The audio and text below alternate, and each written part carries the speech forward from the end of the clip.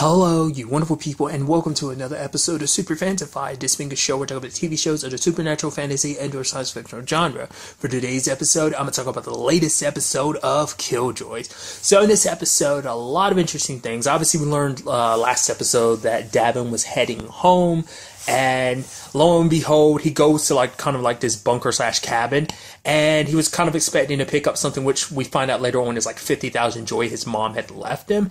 But it turns out who's there but their dad. Now I was curious about it too because their dad would start bringing up stuff about like how long it's been since he saw Dad, and I was like, oh, are we completely ignoring that whole thing with him and Khlyen switching bodies back in season two? Wasn't that season two? I'm pretty sure it was. And I was like, oh, I guess they're not going to acknowledge that. And then he immediately goes, yeah, I had this, this crazy, strange dream like a little while back, and he's kind of been going to the straight and narrow ever since that whole Khlyen thing. And the dad doesn't really tell him what's going on. He's just like, yeah, that's a crazy dream. And so, so I was like, okay, that's nice because it just it's on him to be like, yeah, I don't like. I, he thought it was part of a dream and stuff because he was pretty drunk at the time. It's kind of a, his thing, but he made it seem like he was okay. But I do like this episode. Like, obviously, it's a big.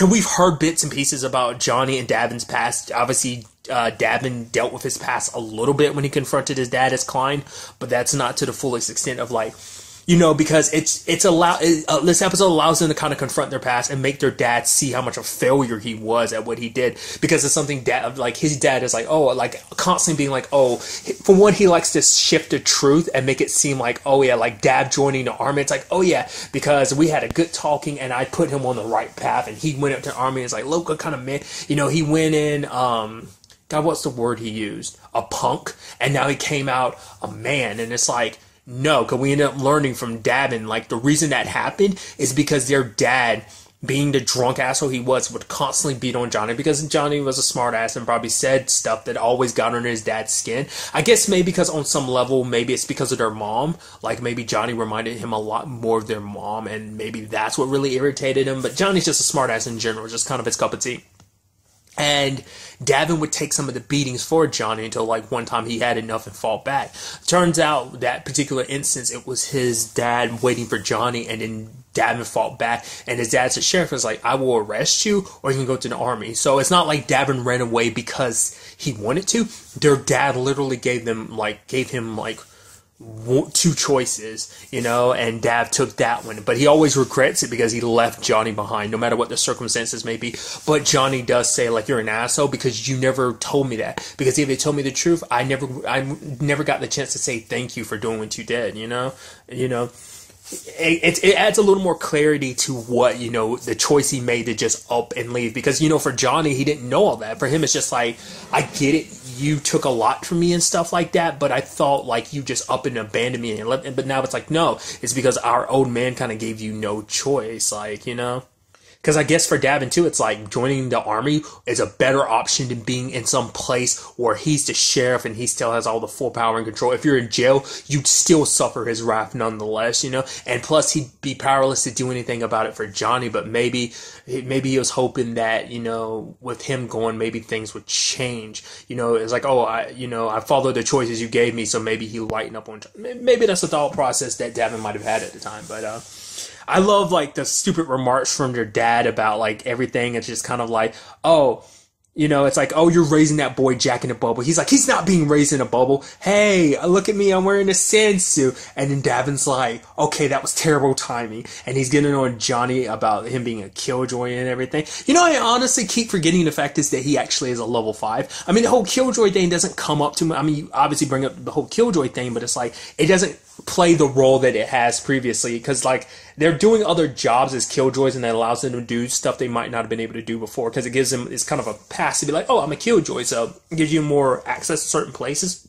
But the whole him being a level 5 doesn't really come up because it's not pertinent necessarily. I mean it was pertinent at the time because it's like oh that's the highest level killjoy and plus, you know, it means you can you can take warrants for kills and stuff like that. So it's it's just a whole thing that it just doesn't play as big a role going forward because we're so focused on the whole and thing. Like that's become the main focus. So that a lot of that killjoy aspects kind of take, fall to the wayside. So. I just think that's fascinating. But then it's also like his dad was like, yeah, and this this one it's he made complaints about D'avin and he's like, look at this one over here. All he does is fly around and drink or something like that He made some crazy remark like that, and then Johnny was like, "No, we don't." And then Dav's kind of behind their dad, kind of going, "I don't know, man." And then his dad kind of raises his eyebrows, and Johnny's like, "Okay, sometimes we do that. It's not like it's all the time. It's like kind of is all the time." It's like in retrospect, it's not until other people bring it up that you're like, "Man, this team awesome."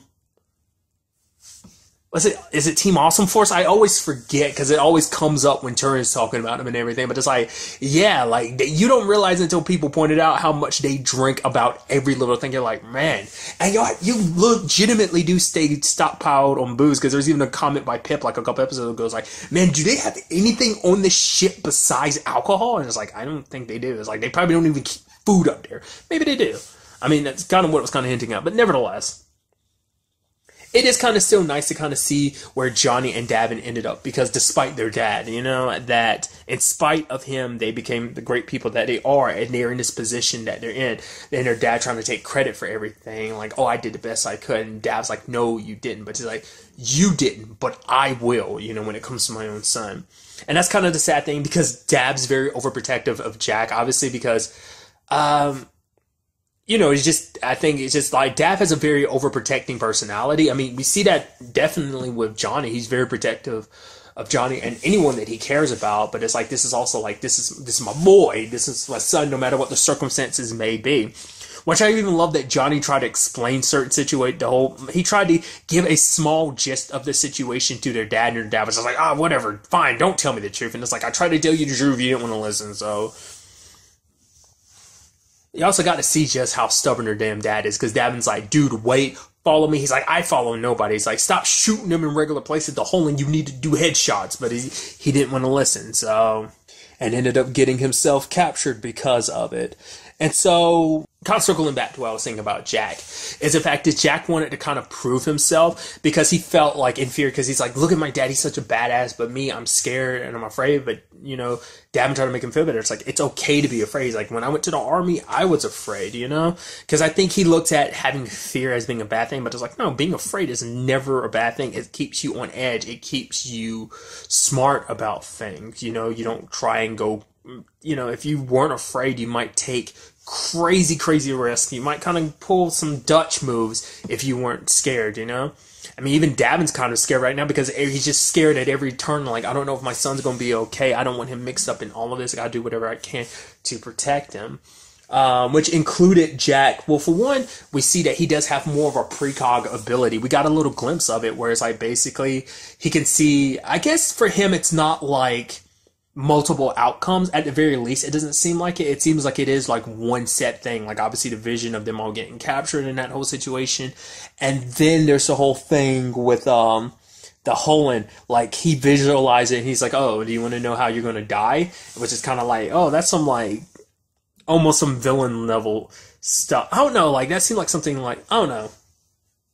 That was just kind of like a crazy line of like, ooh, whoa, that's kind of like I mean, to be fair, that kind of seems. I mean, in retrospect, you're kind of like, nah, not villainy, but it's like it's such a specific line that you're kind of like you wouldn't expect him to say, but it's like, yeah, that's probably something Dutch would probably say though. So it's kind of like, yeah, it kind of fits him to do that. So it's like it, you got to see exactly what he was going to do. So I thought that was kind of pretty neat. Like I said, we're expanding upon his abilities little by little. Cause we already knew he had a little bit of something because he could tell like he had a feeling. So it seems like it is more so a foresight. Because in retrospect, what he said about Pip, about Pip not making it, now it's kind of like, oh, now we understand why. I think that might be implying the fact is, well, that could be taken two different ways now. Because one, it could be like, well, because I think he said you'll die before you get to her, so it's because I Pip will ultimately die. Is what I'm I'm taking from that. Like right now, even with Zeph trying to do everything she can to save him, I think Pip will die at the end of this. Or maybe it's going to be a situation where he dies and then like they're able to resuscitate him or something.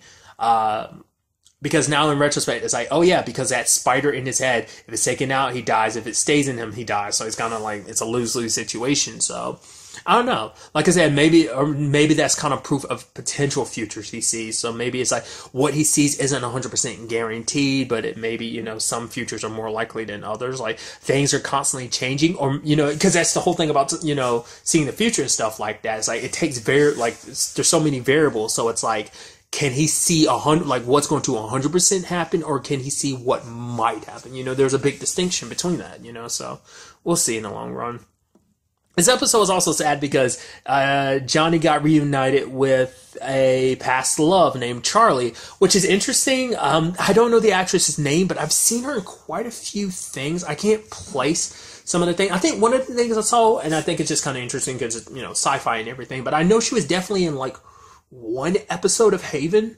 She was definitely, she was one of the um, troubled in Haven, so I do distinctly remember that. I forgot what her whole deal was. It was something with pictures um, if I, I, I don't remember it clearly, but I think that was her. I feel like I've seen her in other stuff too. I just can't remember. But basically, she's a new sheriff, and it's like all this stuff between her and Johnny. It's like oh, there was sparks between them, but it's like oh, she grew up, she was married, but she has kids. Um, it's interesting because like she made a reference to like the fact that her and Johnny were going to grow up, go to the stars, and you know. Pr- find stuff, you know, princess and stuff like that. She's like, "Did you ever find your princess?" And Johnny kind of doesn't really give an answer, which technically he did. The whole Dutch situation. I mean, she didn't really. That wasn't a princess. That was a queen type of thing. But you, you, you get what I'm saying. Wasn't her husband like her hubby at the time? That whole harem situation. Wasn't her hubby a um? I bet when she before she met Johnny, wasn't her hubby a prince or something? I thought he was. I don't remember. I'm, I'm blanking on the details. It's not like it's like that just came up to this season, but it's just like I'm blanking on it. So I guess technically, to a certain extent, it kind of worked like that, especially considering the whole Aneela and Dutch thing, and kind of she plays that kind of like their whole thing is kind of that of a princess role to a certain extent. Especially when you think about the fact is that Aneela is from one of like a Qreshi family. Well, you know, like she comes from a Qreshi family, so she is kind of royalty and is a princess. So it's kind of like, oh, it kind of still works out. But then it's kind of like, she's like, oh, I thought you out of anyone would have settled down, is what Charlie said. And then Johnny was like, there was someone, but it didn't work out. I'm like, I'm uh, like, I, I can say, like, I'm assuming that only person it could be referencing is Potter, which is kind of like, oh man, he's never really probably found like that whole situation with Potter. He's never found that with anybody else. I mean, maybe that's kind of been his reluctance to do that just because of the whole Potter situation. Plus, everything they're going through right now, not really the time to be searching for love. So, you know, their plates are kind of full. So. It's kind of sad. It turns out, oh, she betrayed them. I was like, ah, I was like, I, I kind of didn't think that was I was actually very, very surprised by that. You know, also something else that came up, I'm surprised it happened this episode. D'Avin using his powers to like blow up Hullen heads and stuff like that. You, you know, in retrospect, he has not used that at all this season, has he? I'm trying to think. I don't think he's used that his powers at all. Like, is it? I mean, I guess it would take time. He needs to focus, and so he's not in a situation where he could use them without them, you know, getting him. But um, yeah, I was just I was just thinking about that. I was like, at no point did D'Avin just try to use his abilities. I guess because if you try, they'd shoot him or something like that. So, it, like I said, it needs to charge up. But it's like interesting. Not once at all this season he's used it so far. We have so I don't know. Maybe subsequently since the whole um, Jack thing, his powers have kind of gone a little kaplow, or he just hasn't. They just haven't written a reason for him to use them yet. Potentially, I don't know. We'll, we'll see in the long run uh, whether anything comes from that or not. Like I said, I just thought that was kind of interesting. I feel like one of the last time he last times he used his power was during the rack attack last season. I feel like that was the last time he used his abilities, but I could be 100% wrong about that. Wasn't the whole time him tapping into the green and meeting Aneela? Was that before or after that? I want to say that was before, wasn't it? So, yeah, him killing some Hullen with his powers, like when Johnny was being tortured and stuff like that. I think that was the last time we've seen him kind of actively use his ability. But you know, like I said, maybe I'm misremembering, and maybe he has done it this season. I'm just misremembering there too as well. So, but nevertheless, the Charlie thing kind of sucks, and you know it kind of hits Johnny hard because Johnny ends up tell like she's like, "Oh, let's run away together." He's like, "What about your kids?" She's like, "Oh, they have grandparents," and it's like, you know, what do you have? You know, to hold on to it. He's like, my heart, something that you used to have. And she's like, oh yeah, how's that working out for you? Once again, but that ends up, you, no matter how much you want to shame Johnny for having his heart, and it's like, oh, how's it working out for you? His heart is what makes him strong. I mean, he's kind of interesting too, you would say that, considering the fact that Johnny kind of went through the whole heart struggle situation, considering the fact is that he went through the whole Hullen process earlier this season and everything. So it's just kind of interesting when you actually break that down. But it's like, this is someone he once cared about, he just thought kind of the world of, and now it's kind of like, oh, you're kind of a shitty person person. I'd assume they just arrested her and kind of sent her off. I, I guess on some level, it kind of makes you feel had to make them feel good too because it's like, oh yeah, like you know, like in a sense of like, oh, if only they had that power and position to do that when they were younger to their dad, get him arrested. But I guess he never did anything. He was just kind of a piece of crap they have no intentions of ever coming back home, and it's just kind of like things are kind of sour between them and their dad. It's not like oh, and I, I think that's kind of nice too because it's not like everything's resolved. It's not like oh man, like oh we're good, yeah, my our dad has changed. It's like no, he's kind of still the piece of shit he's always been, and he just tries to pretend like he's better. He's just like he wants to rewrite history to make it seem like oh he should we should all be glad because of everything he put us through. We got to where we are. It's like once again we got here in spite of you, not because of you. You know you weren't a good dad. You weren't a good parent, no matter what your circumstances were. You didn't take care of them. You were abusive. You were just a drunk asshole, like power tripping and stuff, you know? So I did like the line of like, you know, it's like, oh man, they had had had dad for like an hour and they still haven't given him back. It's like that's crazy. And then you know, it's like, oh, tell me we got to go save dad. And Johnny's like, do we really have to? And they kind of both turn and look at Jack, and he's just like, yeah, we gotta save dad. Yeah, of course, we'll always always save dad. And there's so reluct such reluctance in their voice. I love it.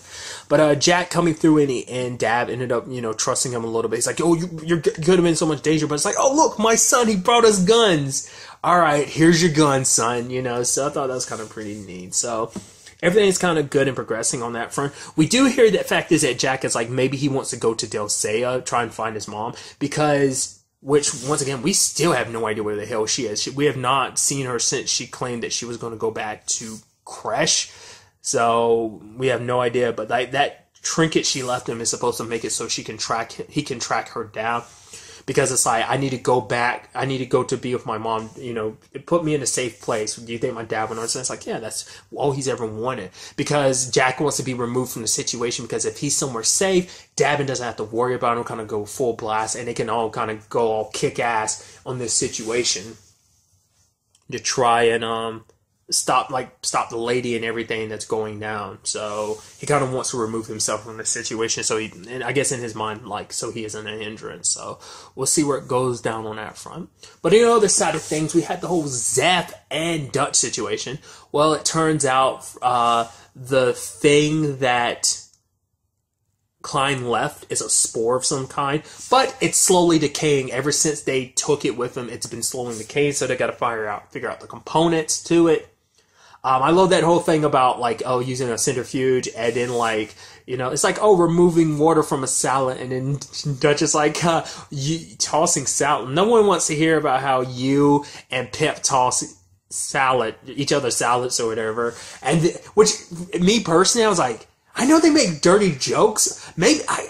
I get it, but it's like that's such a dirty joke. I wouldn't expect. I guess because it's like you have to understand a joke for it to be like, but it's like for you, I don't know. I think I let that slip my mind because it's just kind of like, wow, sci-fi let something like that. It's so ooh risque. I don't know why. Just like, this show is all about making dirty jokes and stuff like that, especially amongst this trio and stuff, especially Don, Johnny, and uh, Dutch. But like, uh, Zeph didn't get the joke at all, and she's like, we got to work on your like dirty jokes, uh, Zeph, because like, man, if Johnny was here, that would have killed and then Dutch doing a risky thing, basically circling around a sun to get it to you know giving it enough force to separate that they could find out the components, which they did.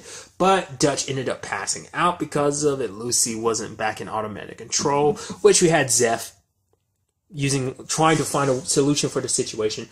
Burns the console using the hologram that she is to heat it up, and that was enough to wake Dutch up to kind of give control back to Lucy. So but I think it was kind of nice to hear what Zeph had to say because it was kind of like she kind of snaps at uh, Dutch because it's like because it's like Dutch takes too many risks, but at the same time Dutch is like, oh, but you're too like safe about things, which is something they both can kind of take from because the thing is like. Because it's something Zeph was kind of like basically, and it's something Dutch kind of does. It's kind of like you're pushing away the people that you love, that love and care about you. All they want to do is try and be there for you, and you're kind of pushing them away. You don't have to kind of be as risky as you are. You don't have to basically, it's okay to open up to someone. You don't have to like burn everything down, essentially, you know? And it's just kind of, you know, it's just like let the people who care about you care about you and try to do their best to help you, like, you know? And it's like, oh, we're talking about Pip. And you know she explains Pip's situation to Dutch, where Dutch is like, "You do what you normally do. You examine the you take the truth of the situation, and then you kick it kick its ass with science." So,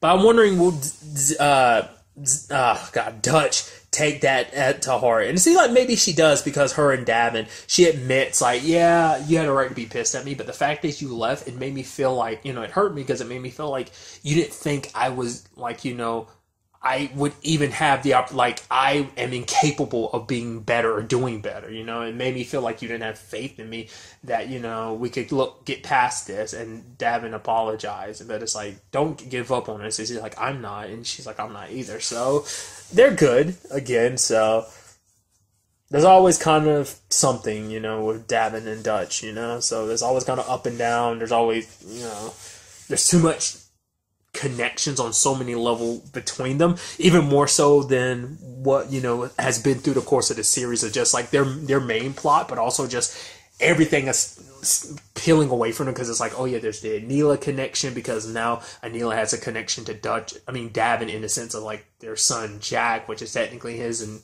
Delle Seyah's son is like that whole thing. But then what we see at the end is Dutch gets this symbol burned to her back.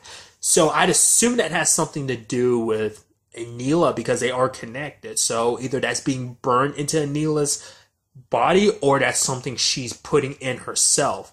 A mess trying to get a message to Dutch. Maybe she couldn't get one any other way because we don't know how the things are going on her front about her fight against keeping the lady in check. The lady does have another green source, as we know, found out about last episode. What's interesting though is I didn't even look at it this way until Zeph was like, "Oh yeah, we do have access to a green pool." So you know, kind of looking at things half uh, uh, full type of situation is like there's a way to kind of go in there to get to Aneela, and it's like yeah, but it's like also you know the double edged side of things. So I thought that was kind of pretty. Neat. But overall, a very interesting episode. I'm very interested to see uh, where the next episode takes us. We are nearing the end of the season because this was like episode eight. There's typically only ten episodes per season, so only two more episodes. So I'm very interested to see like where all this is going, uh, in particular in the next episode, and how this all kind of will eventually wrap up later on in the season finale. So we'll just have to wait and see. But really, that's all I want to talk about in this episode. To the next time we meet, be happy, be safe, live life to the fullest, and enjoy it. Good day and goodbye.